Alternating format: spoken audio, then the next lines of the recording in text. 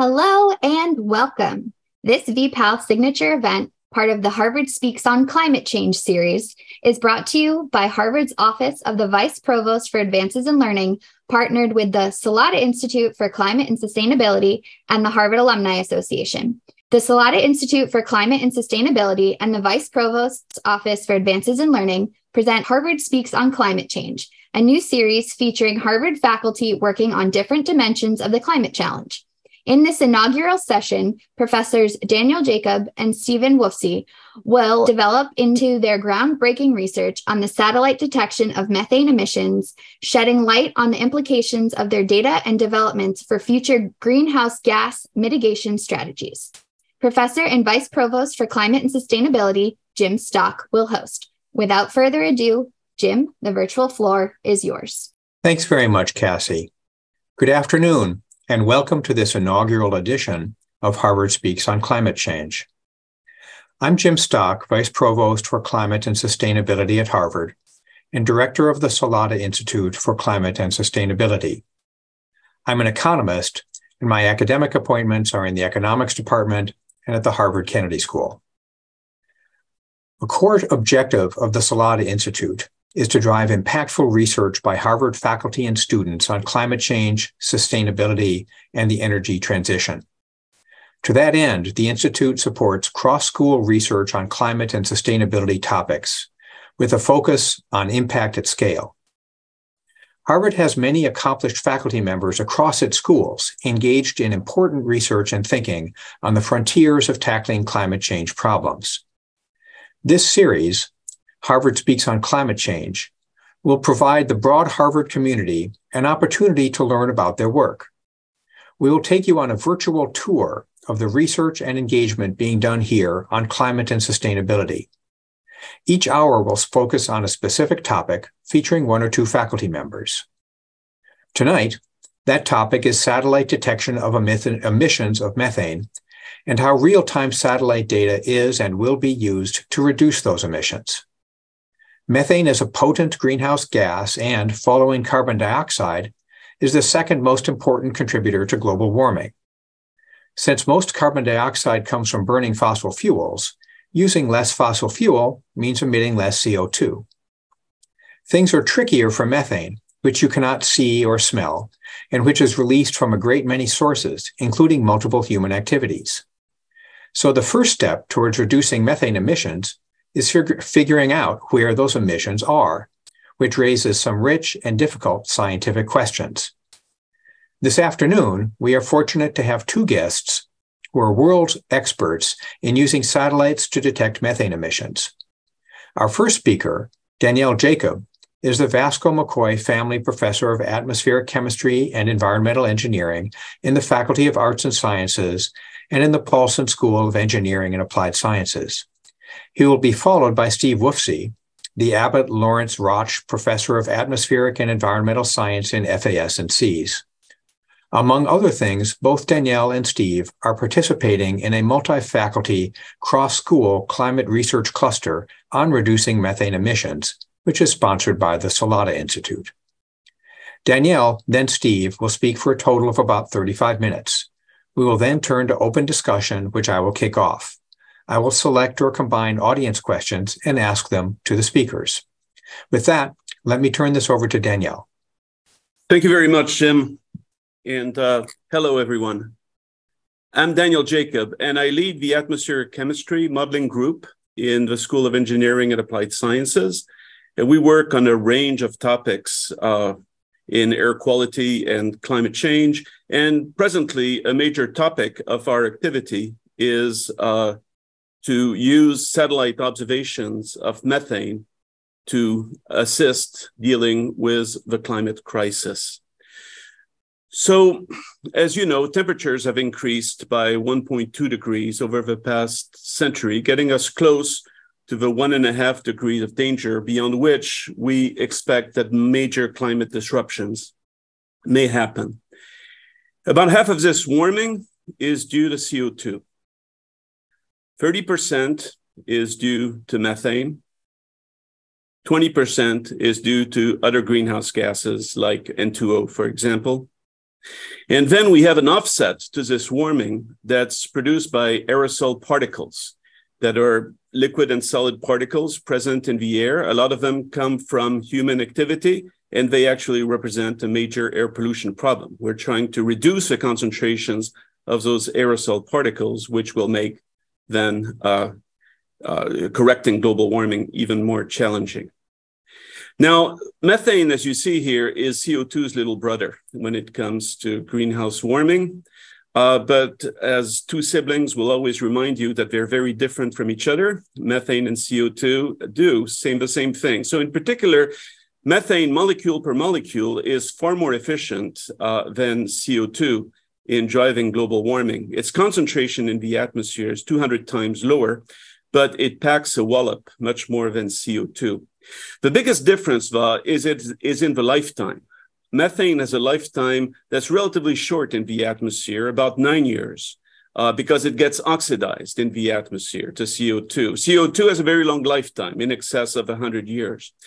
So, because of this short lifetime, methane can provide us with a lever to uh, mitigate warming on the short term giving us some more breathing room to deal with CO2 emissions. So if we were to zero out methane emissions, this is what would happen.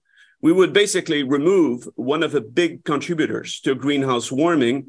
We would decrease warming by 40%. Now, then the warming would keep start going back up. So we would need to definitely take action on CO2, but it would take us, it would give us some breathing room to figure out how to remove CO2 from the atmosphere something for which we need to develop new technologies. Now, as Jim pointed out, methane has complicated sources in the atmosphere. Its concentration has tripled since pre-industrial time. We know that from ice core observations. And uh, the rise in methane has become steeper in the recent decades. The dominant uh, natural source is wetlands. In wetlands, organic matter is decomposed to methane, under conditions devoid of oxygen. Um, and the same kind of process happens with some human activities like rice paddies, like what happens in landfills, what happens in wastewater treatment plants, and what also happens in the stomach of ruminants. This is called the biological source of methane. We have another source of methane that starts in the marine sediments, where organic matter is compressed under conditions of very high temperature and pressure. And the subsequent reactions give us our fossil fuels. And in particular, natural gas, which is mainly methane. But coal and oil also contain quite a bit of methane. And when we exploit those fossil fuels, we will emit methane to the atmosphere through various processes of leakage and venting. So this adds up to a fairly complicated ensemble of sources. But that doesn't need that. That doesn't mean that um, it should be difficult to decrease methane, because in fact, simple measures can go a long way to bring down methane concentrations. And unlike for CO2, there is no stockage problem. Every time we think about, and we have an idea for, uh, you know, taking CO2 out of the atmosphere, big question is where are you going to put it? We don't have that problem for methane. Methane just gets oxidized to CO2 and it's a trivial amount of CO2. So how can we reduce methane emissions? Well, from the oil and gas industry, we can fix leaks, fix venting practices. That takes us a long way. From oil and coal, we can flare excess gas, or we can even use it and take it to market. We can recover methane from landfills.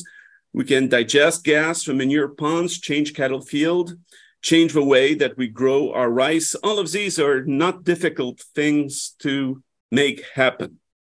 But the real problem is that methane comes from a zillion of individually small point sources with highly variable emissions. And so, if you're going to do anything to tackle the methane problem, you got to know where and when it's getting emitted. This is one of my favorite pictures. It's an oil field in California. And you see all of these individual devices that could be emitting methane at any given point in time through leaks, through vents, uh, through you know an inefficient flare. And you got to figure out where this is happening if you're going to do anything about reducing methane emissions. So this is where satellite observations can come in, because with satellites you observe the whole world continuously. And so you can observe methane everywhere on Earth, including in countries that would rather have you not know how much methane they're emitting. We have quite an armada of satellite instruments presently in space uh, to measure methane. And soon we will have a MethaneSAT instrument led by Steve Wofsy, and he will be telling you a bit about this. All of those instruments measure methane by a technique called solar backscatter, where we look at reflected sunlight coming back from the Earth's surface. And in the shortwave infrared, we have methane absorption bands. And from that, we can figure out how much methane there is in the atmosphere. We have two types of instruments, what we call the area flux mappers, which will provide global mapping of methane emissions with resolution of a few kilometers. Very high precision instruments can detect small structures in methane concentrations. And then we have instruments that I call point source imagers that measure individual plumes uh, coming from point sources emitting uh, large quantities of methane. And we'll talk about this uh, uh, in the coming slides. Okay, so first I'm going to tell you about an instrument called TROPOMI, which is one of those instruments providing global daily mapping of methane. It's probably right now the best instrument to do this. And this is work from my PhD student, Nick Balasus, in which we improve a retrieval of methane from that satellite instrument and we get these gorgeous data, which tell us where methane is coming from. So we see China, where you have a lot of emissions from coal, from livestock, from landfills.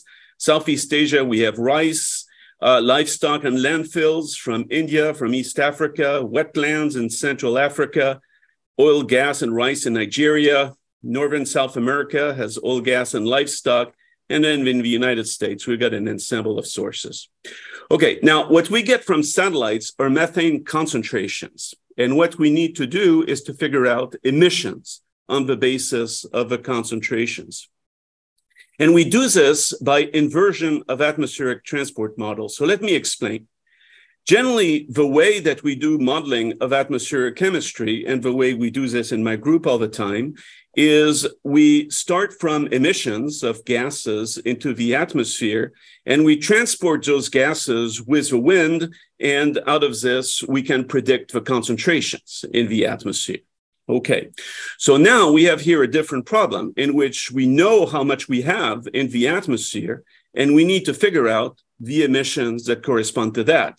And all we need to really do is to reverse the winds. And this is what's called an inversion where we infer the emissions on the basis of the observations.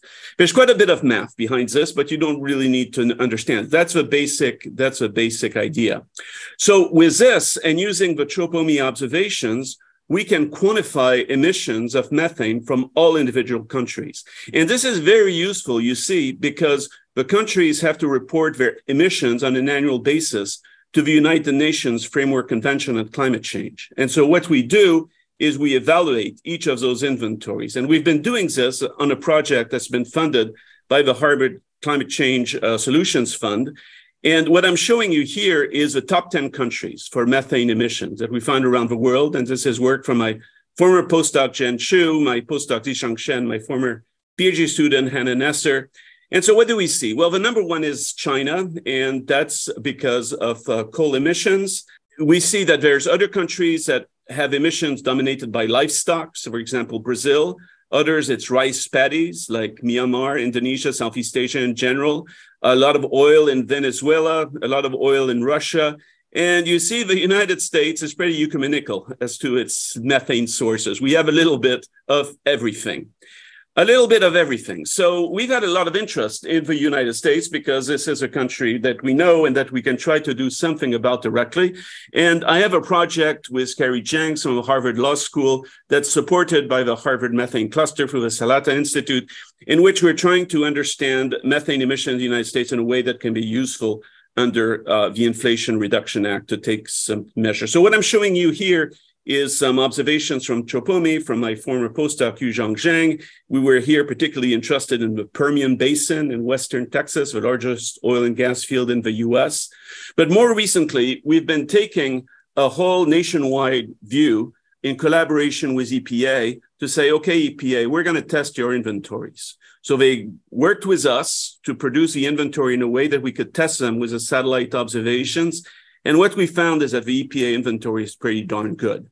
And I think that it's probably the best in the world. I mean, we've done a lot of work in trying to quantify methane emissions. And yet, a big problem that we have is with landfill emissions. Landfill emissions are underestimated by about 30% um, in the EPA inventory. And what we find is that when we look at individual landfills, we find that the EPA models actually don't have a predictive capability. So we think that landfills provide us with a lot of leverage, and we're organizing a workshop in, in January to try to deal with this and make specific recommendations to EPA.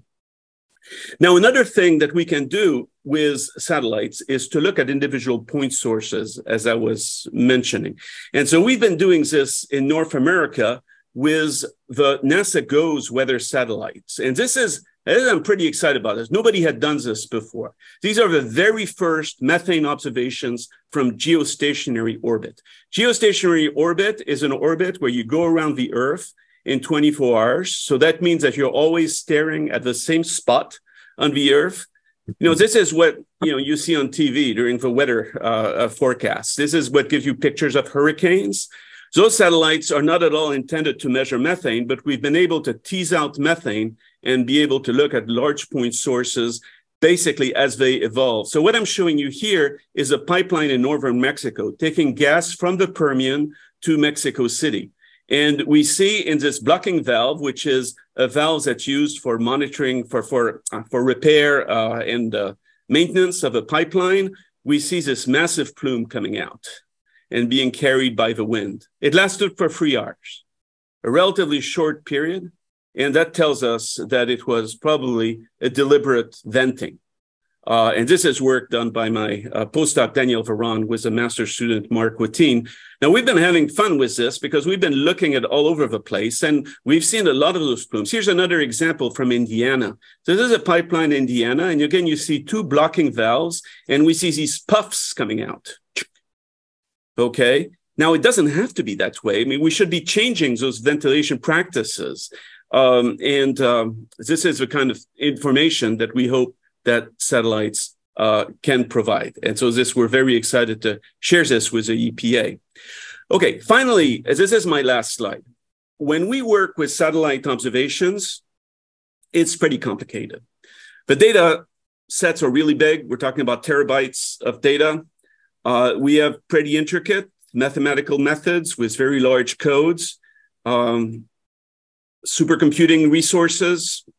And the problem with this is that when you want to engage with stakeholders, so stakeholders being government agencies or NGOs or advocacy groups or industry or citizens groups, uh, you want to actually give them the tools to reach their own conclusions.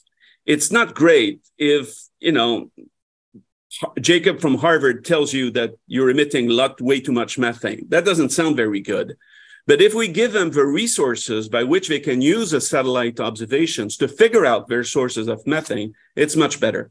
And so, in that spirit, what we have been doing in my group is developing a tool on the Amazon uh, Web Services cloud called the Integrated Methane Inversion. And what it does is it uses our best practices developed for research with my group as we develop our best practices, we put this into this software tool. And this software tool is open access. It takes advantage of satellite data that are resident on the cloud. So basically, it solves the usage problem for stakeholders. You don't need technical expertise. You don't need large computing resources. All you need to do is request emissions for a selected domain and period and the IMI will do the rest. And so it, we're very excited with this because it actually provides with some, it provides a monitoring tool. Uh, you can say, well, you know, I want to, I have a, you know, I'm responsible for oil and gas operations within a particular basin. I want to monitor emissions on a weekly basis, and we're going to give you this. And so you see, you can see the emission surges, and you can say, well, I'm going to do something about it. Um, so we think this is going to be a very powerful resource. Uh, you can read more about this resource at that website. Um, and with this, uh, I'm done, and I'm going to pass it on to Steve. I'm going to tell you about a project that we've been doing here at Harvard for the last uh, number of years. in which we're designing uh, a new sensor to make me- measurements of methane in the atmosphere along the lines that Daniel was just talking about. In a moment, I'll explain uh, why we need these uh, new measurements and a little bit about them. Uh, the science team is led here by my group at Harvard and by a uh, companion group at the Harvard Smithsonian Center for Astrophysics. And uh, you'll see uh, also by at the Environmental Defense Fund. Uh, so we want to reduce methane emissions. And as Daniel was saying, we, we really need to know where they're coming from and why they're happening. And we need to know that because uh, it matters when you try to come up with a, a, strategy for reducing methane emissions. It matters how much uh, is coming out from which type of emission. So do you have those big point sources, as Daniel was talking about, very intermittent, these blocking valves?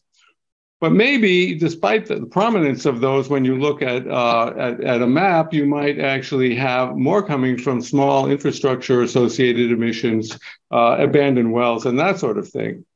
Are these emissions happening because of accidents and upsets? Or are they deliberate uh, uh, emissions, as Daniel was mentioning, might be true for these blocking valves? or are they routine operations or chronic leaks in, in infrastructure? So, in order to answer those questions, we're going to need data of a different sort. We need high resolution measurements that can actually tell us not only about the big sources and not only about the very large aggregate of the emissions, but also um, where within these uh, uh, oil and gas production areas the methane is being emitted, which uh, um, of the uh, landfills are emitting and where and why over a large segment of the of the uh, industry, and um, and be able to quantify how much is being emitted. We also need to make the data uh, accessible to real people and actionable so that people can act on it. And Daniel gave an excellent example of that with the Tropomi data, where he was uh, turning these beautiful maps that mean very little to the average person into emissions data that you can actually use in understanding the emissions. So the, the project, the, the two sensors that I'm going to talk about MethaneSAT and MethaneAIR. They're imaging spectrometers that uh, were designed here at Harvard and being built by Ball Aerospace. Um, and the intentional design of doing this is to be able to create data of the sort that I just mentioned so that we can reduce methane emissions from the oil and gas sector by uh, target amounts 40% by 2025 asterisk the satellite is late there was a covid epidemic uh, and 70% by 2030 but th- those are the basic goals that we have. To achieve this goal we have to have a, a sensor that can measure at the same time area emissions. So be very sensitive to small changes that occur over very large areas and represent the diffuse emissions and point sources. We do something that does that at the same time, can quantify them together. And uh, to do that, we need to have fine spectral resolution, a wide swath so that we can see whole areas at once, and very high sensitivity and precision. So the first one that finds spatial gives you the point sources, the wide swath gives you the area source, and the high sensitivity lets you do them both at the same time. Uh, it's hard to get three of those at the same time, uh, but uh, we seem to be there with our advanced design uh, uh, of this uh, sensor. The, the, the whole experiment, or the, the whole program will freely distribute all the data and will be making these data into actionable data products. Um, there's an advocacy component that is um, uh, resident in, in uh, Environmental Defense Fund that actually will take these data and bring them out to industry, government, and the world. And as Daniel pointed out, um, that advocacy has to be international in scope it's not for us uh, here at Harvard or even anybody here in the United States to go to, um, uh, you know, Uzbekistan or Tajikistan and say, hey, you're emitting a lot of methane. It has to be people in these countries. And EDF is actually working this. The funding is by private philanthropy from Environmental Defense and, New, and this country of New Zealand. It's not private, but it's, it's uh, not NASA. Um, and so the whole um, philosophy of this is what I would like to call photons to boardroom. We collect the photons, we do some very sophisticated analysis of this to produce the images of the concentrations. We then do the inversions that Daniel talked about to tell you what the uh, uh, emissions were on, that gave rise to those concentrations that we observed. And then they go on up into the boardroom. This is a real thing. The satellite is fully assembled. It's shown there on the left. It's scheduled for launch in February of 2024. The schedule is pretty tight. We might miss it, but we'll be getting up as soon as we can thereafter if we do miss it. Um, on the lower right, you see the airborne version of this. It looks rather different. Uh, and we'll be talking a little bit about the results from this because it gives you a taste of what we can actually expect to see. So um, here, here is this an image of the of the two platforms that we use. We have two of these. Um, one of them is the Gulfstream 5 from uh, the National Center for Atmospheric Research on the left, and the one on the right is a modified Lear 35A that um, was purchased by funds from uh, Environmental Defense and modified to have that little uh, uh, pocket that you see there on the side with a window uh, made of special coated glass at the bottom and a little spectrometer there to make the measurements. So we've actually got lots of data from MethaneAIR that's going to tell us about what we're actually going to see when we use the satellite and also can be used in its own right as a tool for uh, starting this process of collecting data and understanding what's out there and um, who's doing what and why and what the amounts are. Um, MethaneSAT will acquire 30 targets each day as compared to the 70 that we collected here over the past summer.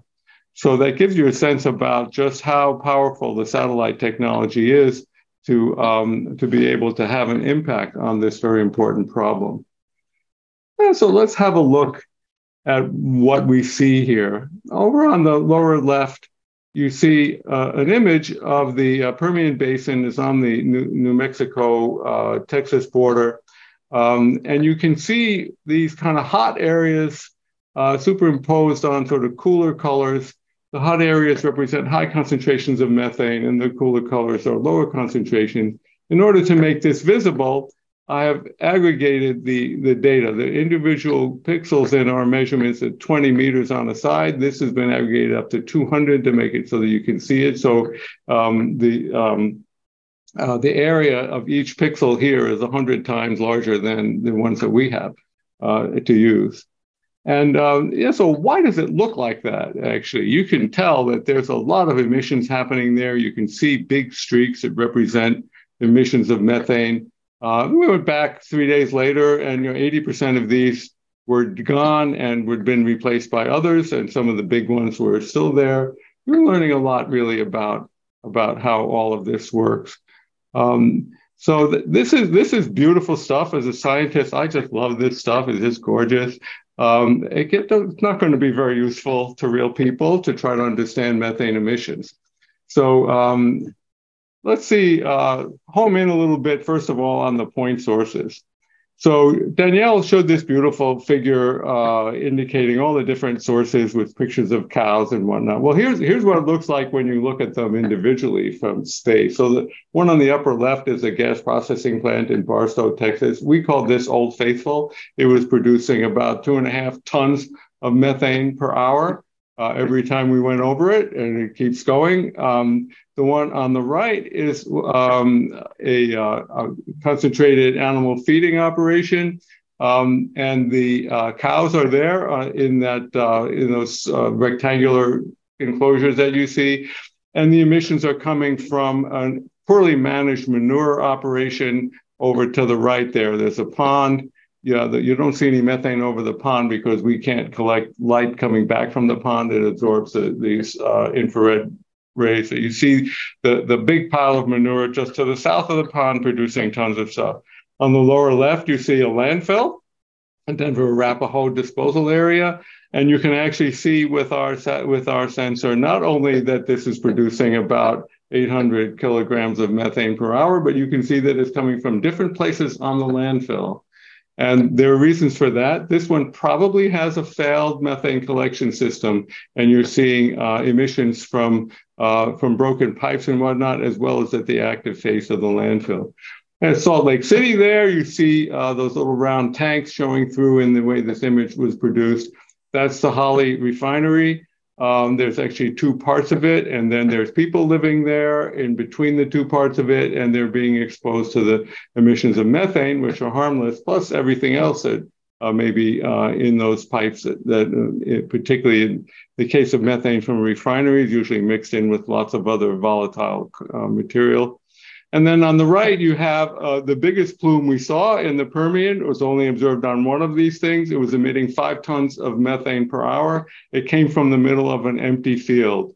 Two weeks later, the company who owns this pipe uh, found the leak and reported it to the state of New Mexico and said they had emitted about five tons of methane because they only saw it for one day, but we saw it there two weeks earlier. It gives you some idea about what to see. Daniel was talking also about the landfills, so I thought I would pick up on that. Um, we observed all of the major landfills in Colorado. Um, uh, you know, like at least seven of the major ones. Uh, only three of them were really emitting large amounts of methane. One of them uh, that we had been seeing another Old Faithful, uh, North Weld County landfill, um, was producing a lot of methane in 21 and 22, and in 23 when we went back, it wasn't producing any methane because they had repaired the defective uh, system of, um, of um, uh, methane collection. So now this is kind of the holy grail here for, for this set of measurements. And I'm going to take just a minute to talk about this and then I'll wrap up. Uh, on the left, you see that same image that I showed you. The color scale is a little different, but it's the same image of concentrations. And on the right, you see what we get out of uh, and analyzing these uh, using models very similar to the ones that Daniel talked about um, that uh, allow us to t- take those data and infer the emissions from the point sources, so those big plumes that you see, and also from the area sources. And it's really quite interesting. Um, most of the infrastructure is sort of in the middle of this image. And there are some big point sources there, but the area sources are actually um, more prevalent in the area where the uh, infrastructure is newer. And there's probably reasons for that. We can get into that later if people want to speculate about why that is. We can then compare these two and say, okay, the point source emissions are about 30 t- uh, tons per hour of methane. And the total, uh, and the area emissions are about almost 60 tons per hour of methane. You combine to about 90 tons per hour of methane with um, you know whatever it is there, uh, two thirds roughly being in the um, in the area emissions, the ones that are too small to image individually. That was kind of a surprise. Um, people don't actually know that before. The the TROPOMI satellite can't see enough detail in here to tell you where these which is which, and um, the point source emitters can only see the red dots. So it was kind of a surprise. Um, here it is. Here's the one on the left there, the same one I just showed you. The one on the right is from the Uinta Basin. It's a much older um, oil and gas province. Uh, the western part of the basin produces mostly oil, and uh, the eastern part uh, mostly gas. And you can see there's emissions from both the oil and the gas regions, but more from the oil. And uh, that's not actually that big a surprise. Uh, the, this is a relatively old infrastructure, like the California well, some of them that, that Daniel showed, not quite that old. Um, but so there's a lot going on there. And in this case, uh, the emissions are lower only by a factor of uh, four or five, five, I guess, um, compared to the Permian Basin. But the overall production is a lot lower. So this place is not very efficient. Um, and it's dominated by the area emissions. You don't see um, the uh, the point source emissions being very important here. And that's really quite interesting. And it's starting to give us some insight into the way this whole industry is actually working and why these emissions are happening. So to summarize, um, we designed and uh, built, we didn't build it here, of course, we designed and built new, new, these new imaging spectrometers, airborne and uh, soon to be satellite borne. They measure methane with very high precision and spatial resolution over quite wide areas. So it's something new that we think will be a powerful tool in trying to uh, uh incentivize reduction of emissions. Um, the sensors are, are on both spacecraft and aircraft, and we're eager to continue to fly the aircraft even as the spacecraft goes up. And the goal is to uh, reduce methane emissions. And I think we've already shown that um, these sensors can actually provide new and powerful in- information to complement um, some of the sensors that Daniel talked about. And that concludes my presentation. Thank you very much, everybody. That's fantastic. Boy, there's there are a lot of questions to ask about this, and it is it's just super cool to see this uh, to see all of this work. I'm going to start off with one high level question about whether these satellite data go back in time sufficiently for us to understand. You mentioned that methane emissions have been going up, and especially even going up over the last three decades. Do we have any sense as to where that's coming from? Is that coming from increased oil and gas production? Is it coming from uh, natural sources? Uh, is it coming from changes in livestock uh, usages? Do we have the evidence on that? When we look at the tripling of methane emissions since pre industrial times, it's very likely that all of the sources that Steve and I have been talking about have contributed to this. Now, methane has been increasing by fits and starts, unlike CO2. CO2 rises majestically uh, because of the increase in fossil fuel combustion. Methane is doing strange things. So we've had satellite observations um, since 2010. And so from satellites, we've been able to understand the increase of methane, where it could be coming from. So that period, uh, there's a strong evidence that it's coming from the tropics and in particular from tropical livestock. Uh, large increases in tropical livestock in Africa, in India, in uh, other parts of uh, South Asia. Over the past four years, the methane growth has accelerated, and we've had what we call the methane surge. We think this is due to wetlands. Wetlands may be providing a feedback on climate change. We've had a lot of inundation in the tropics, in Africa, in Southeast Asia. Um, and it seems to be tied to the La Nina phenomenon. Some people say, well, it's a effect of long-term global warming, but it would be very interesting if the wetlands were, responding as a positive feedback to climate change. Great. We have uh, a, a, number of really interesting questions uh, from the audience. I'm going to focus on some of the narrower clarifying questions first and then broaden out a little bit. Um, one of the questions is uh, about the observation mechanism itself and whether the, the what the global distribution of methane observations are and whether some regions are under underrepresented underrepresented in our uh, in our observations. Or I guess not our observations your observations or in the collective ones. You have to have uh, there's there's actually quite a lot of issues in in the sampling um, problem uh, the one that's most obvious is that when it's cloudy, you can't do these measurements. And so in the tropics, in the Nigeria region, for example, you can't do these measurements. Another is that um, mostly these measurements are made over land because water will absorb uh, the infrared radiation that we use to make the observations. Um, you can get around that by looking at, at the so-called glint point. You know, if you look over toward the sun on the ocean, you see kind of a bright spot where where it's reflecting like a, like a mirror, uh, and um, those are much harder. So uh, over water measurements are also very limited. And probably the biggest one is the time factor. So satellite goes over and it's got to be daytime. You need the sun to do these measurements. And um, uh, we know that the measure, that the emissions are very intermittent. You can see from Daniel's uh, beautiful imagery there of the uh, of the blocking valves. You know, how would you ever observe that with a satellite that goes over and makes a snap measurement at one time of day? How often would you go over there and catch one of those? So, so that's an extreme example, but that's uh, clearly clearly uh, an issue. So all of those make the measurements um, very hard to be representative and uh, poses a, a, challenge. We know about this, and we are certainly trying to um, improve the, the measurement frequency and uh, coverage and whatnot to try to solve these problems. That's great, but I, I do know that you're able to um, obtain measurements from uh, using satellite data, using the remote imaging from countries that you wouldn't really otherwise have access to, yeah. and that actually serves a role in terms of global emissions, uh, at least uh, identification and and hopefully uh, and hopefully then getting those actors to reduce emissions.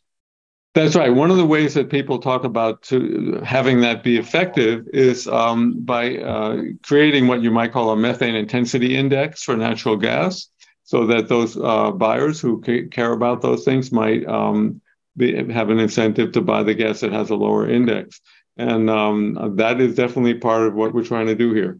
And there actually are markets that use that use that because some buyers actually do care about having a lower methane uh, version of natural gas. Here's another uh, really interesting question more on the science is why do estimates of methane emissions from oil and gas operations vary so much?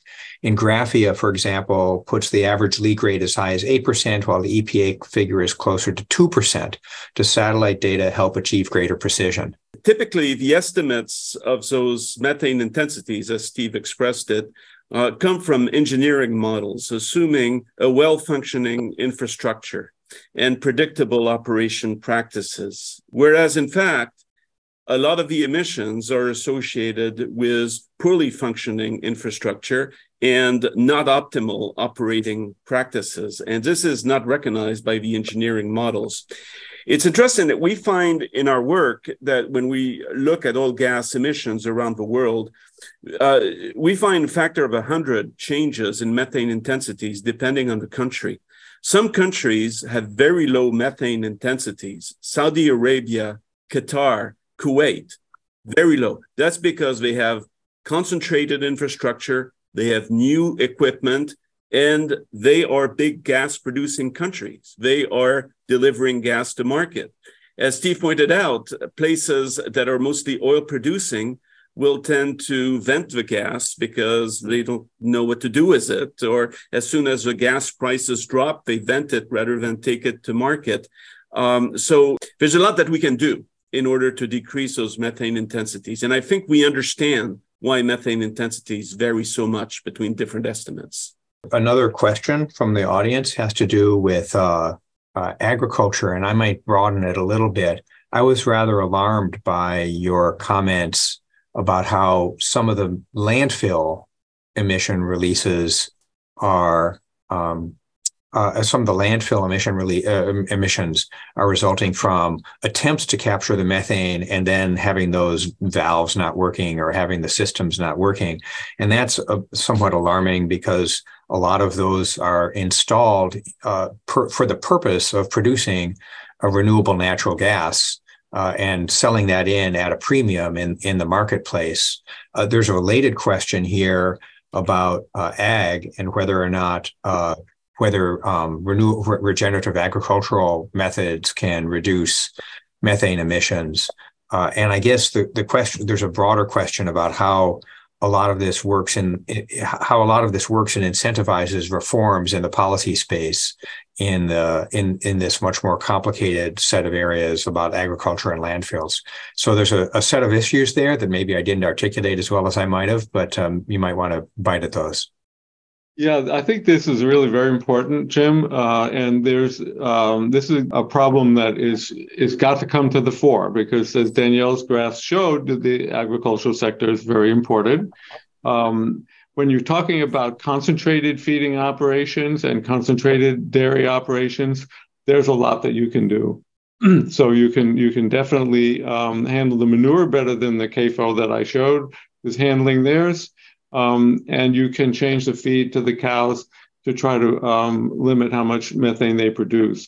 When you go to more distributed methane, you know, so cows grazing out on on the prairie and whatnot, it can be very difficult to even know what they're doing. I don't think even our sensor is going to do a great job of being able to quantify that. So I think um, we want to do a very careful assessment to make sure that we're not going after the, the most visible methane sources from ag, but not the most important ones, and see where, where that leads. There are definitely things that you can do. And depending on which um, agricultural um, uh, industrialist or sector leader you might talk to, some people are quite eager to consider doing those things, and others really don't want to be bothered at all. So, um, so there's a, there's a lot of work to be done on um, figuring out how to make sort of action effective in, in the agricultural area. It's a harder area than either the landfills or the um, oil and gas. So one thing I would add is that um, a concern with the agricultural source is that it's so tied to food security. And uh, it's a major source in the tropics, and we think tropics are driving the current methane rise.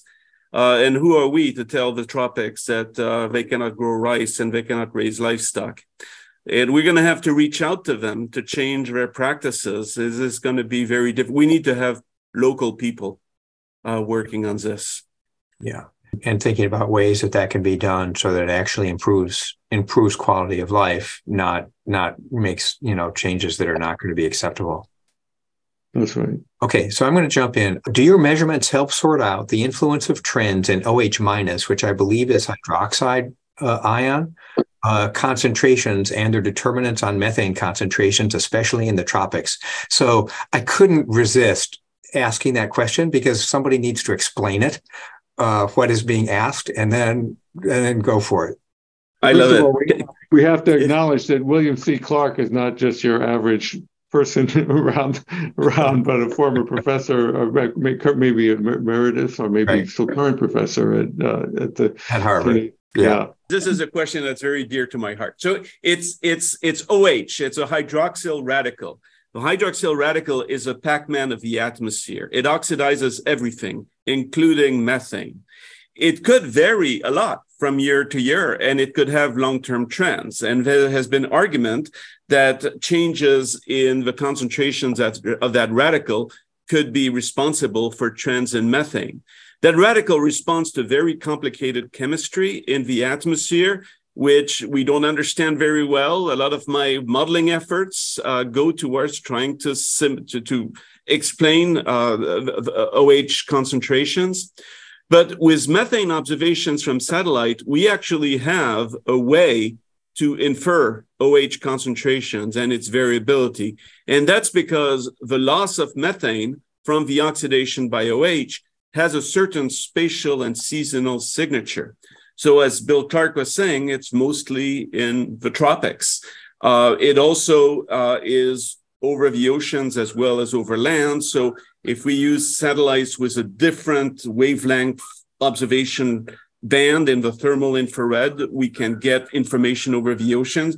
I could get easily pretty technical, but I think that it's, it's a very interesting question. But I think that we can use satellite observations of methane to separate the effect of emissions to the concentration of that oxidant. And if we could get at the concentration of that, of that OH oxidant from observations of methane, that would be totally transformative for our understanding of atmospheric chemistry because we would better understand the sink not only of methane, but of a host of other gases that are getting oxidized. I'd like to add, though, that um, if we reduce methane emissions to the atmosphere, we will reduce methane concentrations, and that uh, does not depend on the ups and downs of OH right. in the atmosphere. So, uh, in, in, the end, for for at least for the project that I'm leading, um, we really care about reducing it. And if OH wants to go up and help us, that would be nice, but that's not not the the main game. Yeah, good point. That's great. We yeah. have a couple of questions. Uh, there was one of the slides was a very interesting one where there was, um, I believe, methane concentrations across the globe. And one of the things that I had expected to see a little bit more of was higher emissions or higher concentrations in the Arctic from perhaps some thawing of the permafrost. And there was a question that also asked that same thing. So I wonder, and, and or maybe from Alaska's lakes. I wonder if you could address this concern because I know that is a concern, but maybe it's not as immediate a concern or as quantitatively important as many of the other ones that you've listed. There's a lot of methane produced deep in the Arctic soils because they're they're anoxic. They're they're they're uh, um, underwater because the water goes down there and gets caught on the top of the ice layer, and and so you get anaerobic stuff. But the the methane that is produced there really doesn't make it to the atmosphere for the most part. It's consumed in the soil above the above where it's being produced. So it does get out, and the, the Arctic is a significant source of methane to the atmosphere. But we have really, really good monitoring measurements in the Arctic that go back to the 1960s. And there's no evidence that the, uh, the soil derived sources of methane to the atmosphere and uh, from the sediments in the shallow waters and whatnot. There's no evidence that those have increased over time, even though the climate has warmed quite a bit. And that's because such a large fraction of it is consumed before it gets out. There was a change in the total amount of methane emitted to the atmosphere from the Arctic that was quite large, and that occurred in the late 1980s and early 1990s. And that's attributed to the collapse of the very inefficient um, Russian uh, oil and gas operations that uh, that collapse occurred when the Soviet Union collapsed. Then the new Russian stuff that's up there may be a lot better. We're about to find out. But so um, so so but the, the very short answer is that melting of the permafrost, while it's a legitimate concern, it's, it's it tends it, it doesn't seem like that's going to be the big driver, and it certainly hasn't been up till now. That's really helpful. Let me turn to a couple of uh, bigger picture uh, policy questions, uh, and we can use those to to close on. So, what do you think the most promising avenues for, let's say, short term and then medium term um, emission reductions are? And, and my guess is that you might start with oil and gas because that's one of the big uh, focus, focuses, uh, especially Steve, of the MethaneSAT and those pictures. But but if you look just a, little bit beyond that, maybe you could elaborate on what you think some of the big big opportunities are, and where we would have the regulatory or policy levers or business levers to actually make a difference. And I'm saying this; it's a little unfair because I'm asking uh, the two of you a policy question. Uh, uh, yeah, so so uh, you're the measurement guys, but still you're involved. It's a multi-person, multi multifaceted effort here. Yeah, sorry yeah. for punting. I'll, I want to hear what has to say about so, So I, I, I think I think I'd like to I can give a definitive answer as to how um, the data that we're producing will uh, uh, reduce methane emissions, and the answer is we don't really know. Um, but we do have uh, concepts that we'll need to see whether they work out. And I, I, would start with the business community. So, to the extent that people are going to um, prioritize purchasing natural gas from uh, places that have low natural gas intensity, that provides an incentive for the industry to start cleaning it up. Um, the, currently, you know, some companies are much better than others. Some areas are much better than others, as Daniel pointed out. So uh, in some of those desert kingdoms, the emissions appear to be very, very low, and that's um, that. You know, why can't it all be like that? So, so there, there, uh, we, we think that that this will work through a combination of private enterprise, uh, people doing the right thing, um, environmentally uh, sensitive uh, investing, uh, and and regulation. It's not all going to be regulation because you can't really um, uh, regulate these kinds of details. Some of it is infrastructure, and I'm I'm struck by the fact that uh, you know some of this uh, stuff in the oil area seems to be due to um, you know just trying to get rid of the methane and not caring about it, and we could change that behavior. Um, we, we've seen a large number of unlit flares. And apparently, the current rules require you to have lots of different technical requirements on a flare. But the current rules, somehow, I don't know how, do not require the flare to be lit. Well, we could change that rule and make it uh, a violation to have a flare running that's not lit. So there, you know, some of it's easy, some of it's hard. Yeah, and it fairly differs across countries. Here in the United States, in the Inflation Reduction Act, there was a there is a methane fee, uh, which is fairly substantial. That, of course, gets into the question of measuring those emissions so that the fee can be assessed. So it, you know, that's a policy tool, but it immediately just jumps back into the laps of the scientists uh, figuring out how to uh, how to do this. So yeah, actually, I, would like yeah, to make. Can I make a comment, a quick comment yeah. about that, Jim? Very, very quick, because, and then we're going to wrap up. Very quick, because because it's very hard to use our types of measurements to make an enforcement action. Yeah. But but it turns out that the people who do enforcement know how to use our data. They use it to decide where they're going to look, and they do the enforcement. So so it's, it's actually we, we can do more there than you might think. So that's a great note to end this on. It's an it's part of uh, this is all part of a team effort uh, to really make a difference. And I'm just delighted to have had the opportunity to share this uh, hour with you. I'd like to thank the Office of the Vice Provost for Advances in Learning and their team for their production support, and the Harvard Alumni Association for their help with promotion and logistics. Thanks especially to both of you, Daniel and Steve, for giving us this fascinating discussion of the important work you're doing. It's a great example of how experts at Harvard are doing the hard work of tackling and solving climate challenges. Finally, let me thank you, the audience, for joining us.